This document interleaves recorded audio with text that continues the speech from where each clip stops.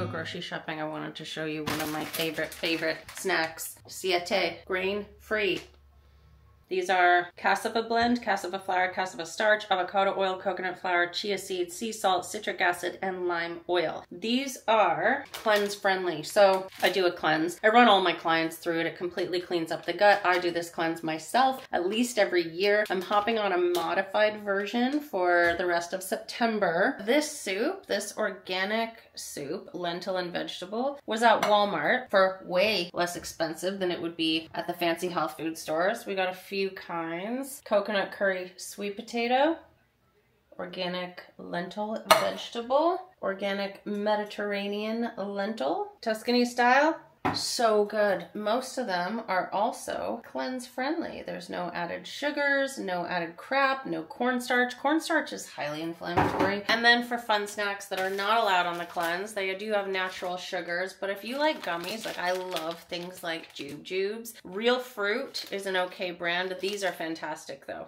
They're expensive, but they're naturally flavored, free from artificially sourced sweeteners, rich in fiber, plant-based, no sugar alcohols, free from artificial colors, gluten-free. They're amazing. They're expensive, in which case you won't eat them as much. And these organic lollipops, it's still sugar, like cane sugar. But aside from cane sugar, there's no other sugars. They are so healthy, gluten-free, egg-free, fish-free, peanut-free, tree nut-free, shellfish, so all allergens-free. Just so good. I like the sweet every now and then. Anyway, good morning. So I use this collagen. It is my absolute favorite. They did finally give me a discount code for this that I use myself, but it's Kelly 20. It's absolutely absolutely awesome. They make bone broth, they make all kinds of things. I just like a frothed chocolatey goodness in the morning. I used unsweetened silk almond vanilla flavor. And I bought this off Amazon. I put these two in the frother and then I make my coffee. Make sure when you're having coffee that it's organic always. I drink this jumping bean because non-organic coffee is straight chemicals to the body. So if you're to have coffee, try not to have caffeine every day, but I will put three quarter cup of this in the frother and one scoop of this I'll froth that up. Let's do it. Like I said yesterday, we're reading The Surrender Experiment by Michael A. Singer. It is amazing. Bubs will come and cuddle with us. And that's our morning routine.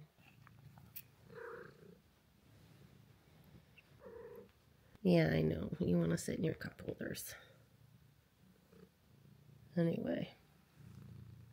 We read together every single morning for a little while. I highly recommend keeping the phone down. Get yourself a really good book. Make it a life changing one. There are many, many, many I could go through with you guys that have changed my life. And get yourself a reading buddy too.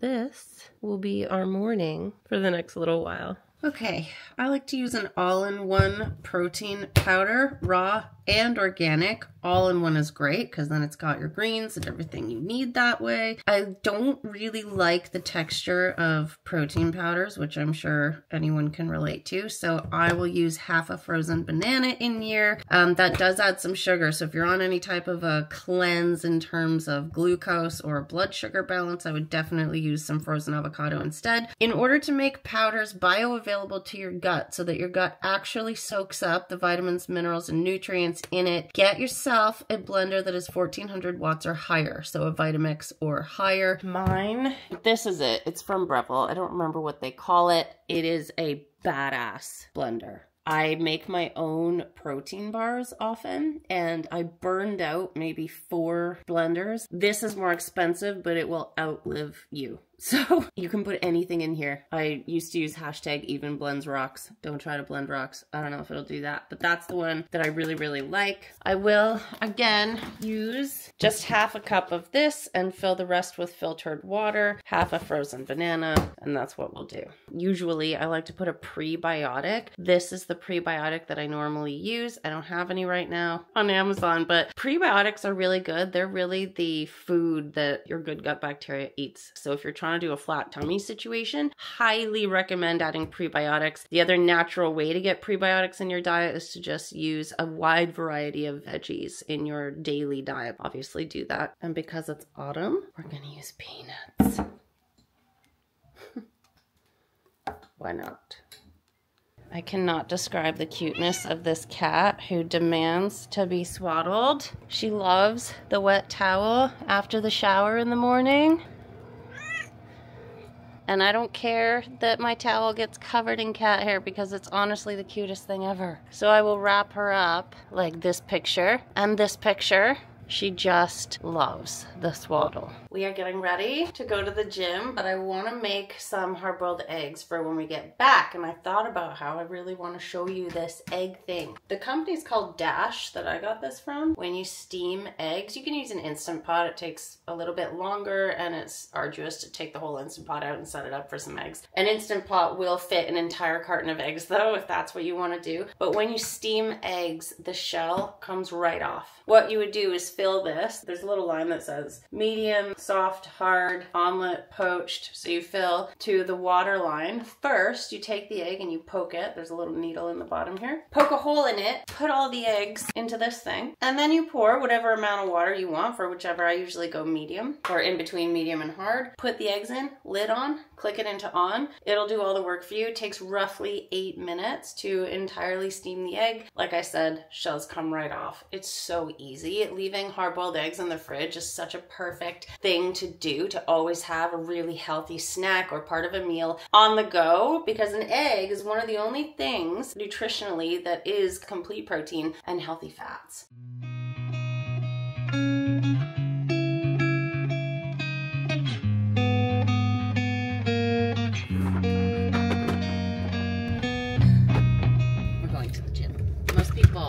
Work out because of weight loss. And any weight loss article you read, it's gonna say that high intensity interval training burns the most calories from fat out of any type of workout whatsoever, or any type of exercise. But what they're not telling you is that it will either cause or instigate adrenal fatigue in many people. And 90% of the population out there has adrenal fatigue, which just means too much stress hormone production. And we need our repair system to work in order to use muscle properly to burn fat stress hormone is going to shut that off. And if you were to do a properly designed heavy lifting, resistance training workout, should be less than 45 minutes max, your body's going to burn excess fat and calories for up to 72 hours or three days after one session. And so I really feel more about doing things smarter, not harder. So I like to work out at least twice a week because then if you're doing it right, your body's going to burn fat and calories for up to three days between most people are not allowing their bodies to really recover enough and they're just going back to the gym and no pain, no gain. And meanwhile, they're overtraining to the point that their body is thinking it's expending so much that it needs to hang on to fat. All of these things, a lot of people just miss and they're busting their ass doing all these HIIT workouts every day and they're getting usually what we call skinny fat and it's just not beneficial. And a good amount lean muscle in your body keeps your insulin functioning properly. All of my diabetes diabetes type 2 patients that I've ever had in my practice did not have a solid quality and quantity of lean muscle in their body. It's also one of the top predicators of our longevity, how long we'll live. But you don't even need to do much at the gym to really do this. And so I just wanted to tell you that. Well, we're on our way. We're at the local gym upstairs. Bare bones kind of stuff, not fancy, don't care, it's all we need. So really what I do, there are seven primal pattern movements that really need to be included in every single workout for it to be a properly functional workout. So pushing, pulling, lunging, twisting, bending, squatting, and gait. Gait is just walking. I do enough of that, so I'm not gonna bother doing that at the gym. I'm gonna do three sets of each. The first two sets, 75% max effort, meaning you have a couple more reps in the tank, but you stop. And then the third set, you do 100% to failure. You just keep going until you can't do it anymore, and then hold. And every single time I choose a weight, it's gonna be a weight that I can only do a maximum of six to eight repetitions per set because that is muscle growth, hypertrophy. Anytime you're doing three sets of 15 kind of thing, you're moving into the endurance zone. You're not going to build muscle as efficiently. Anything less than six reps, you're moving into the strength zone. And it's just one exercise for each of those seven movements. And then make sure as soon as you get four weeks of consistency of doing this, change it up. So I'll do another type of exercise for each movement. I always exhaust my biceps first though, because they always try to help. So if I'm doing pull downs to get back muscles going, my biceps are gonna help me do that, right? So I really wanna max those out so that the muscle that I'm really trying to target will be able to function more strongly.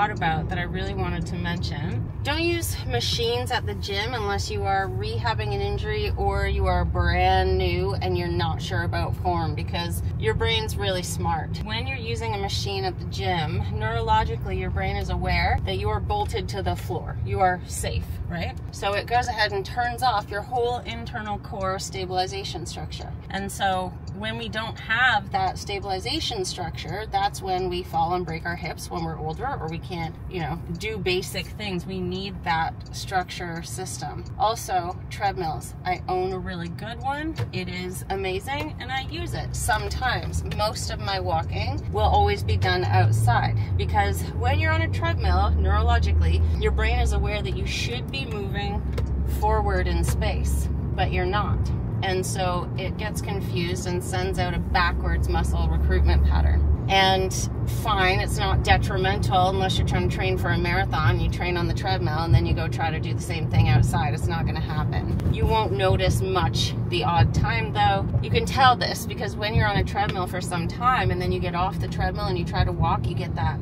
strange feeling right? So just always do your walking outside. The body loves burning fat with low intensity steady state cardio, aka walking. But yeah, I thought I would mention use anything that moves in a free range of motion at the gym in terms of resistance. So cables, dumbbells, kettlebells, barbells, bands, things like that, you will always get a better workout and you may even find you can't lift as much weight because you're actually working out properly.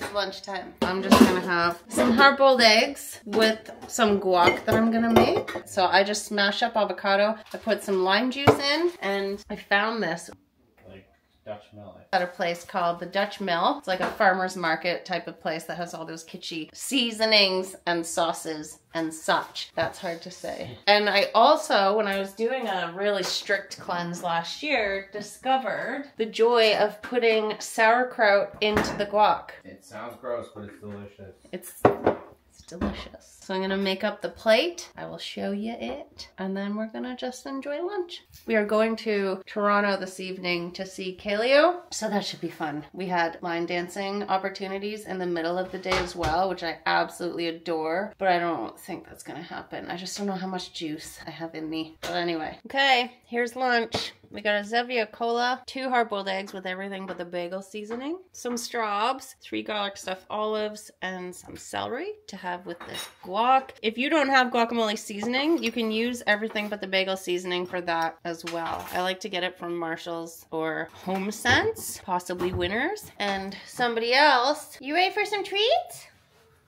Yeah. She's been waiting patiently on her mat over there.